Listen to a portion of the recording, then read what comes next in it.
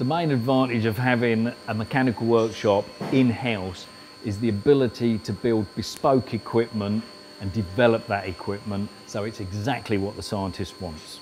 It may be novel, it may be unique, it may be uh, a small piece of equipment, it may be a massive piece of equipment, um, but we can help out. I've been at the LMB for 40 years, so I've seen quite a lot of change.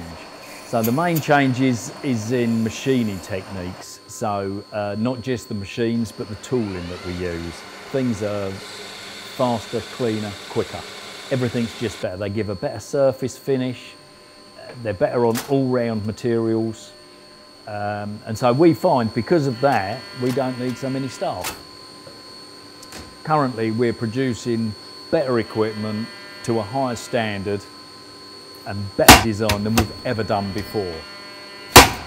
When we have a, a, job with a scientist, not many of them have an engineering background, so they know what they want to do, they just don't know how to achieve it. We can work with the scientists, come up with a concept, make a preliminary design for them to trial.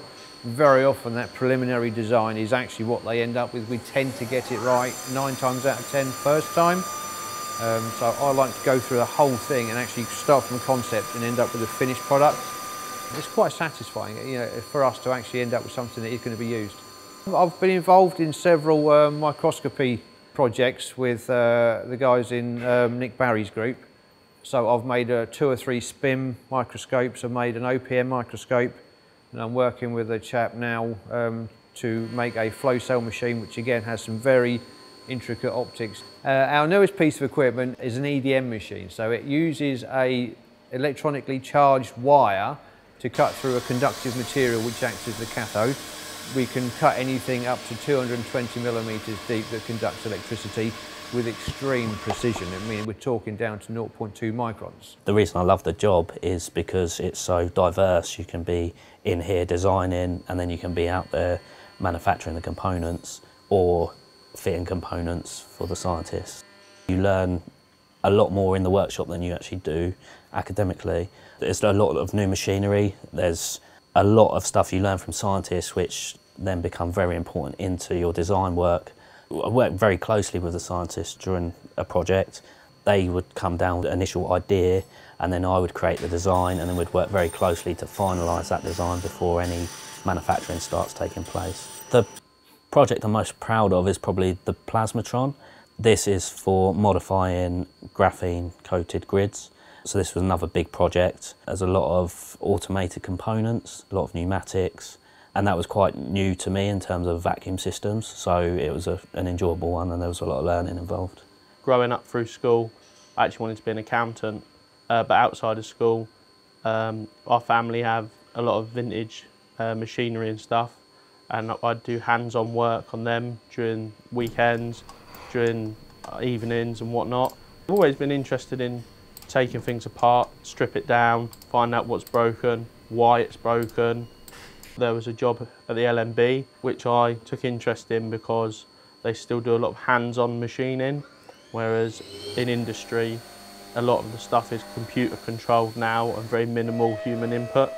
So one of our scientists would come down, and for this instance she had photographs of the instrument. Uh, from the photographs I had a few components that I was able to get the scale of the device. From that developed the, the CAD design into the finished product. One of the larger things that I built for a scientist at the LMB was uh, for a cache. We made a camera tree for him and that was basically holding an array of mirrors in certain places to reflect different colour lights to take them through lenses into cameras. For the mechanical side, it was a lot of precision placed parts uh, that all would then work together.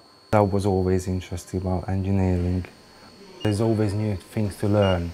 There's always, uh, there's always something different we make.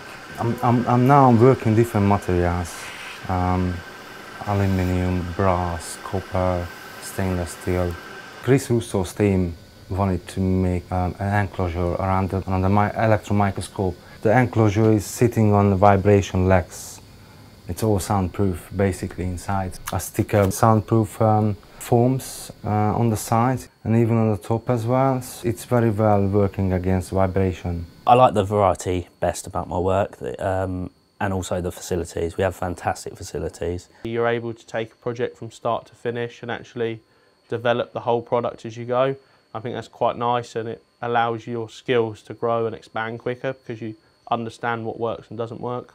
We have a, a nice camaraderie here, you know, we all get along well together, we work as a team, uh, well, throughout the whole building really. If anybody needs one of us for anything, we'll, we'll drop everything and try to help someone and we know that they'll return that in, in kind.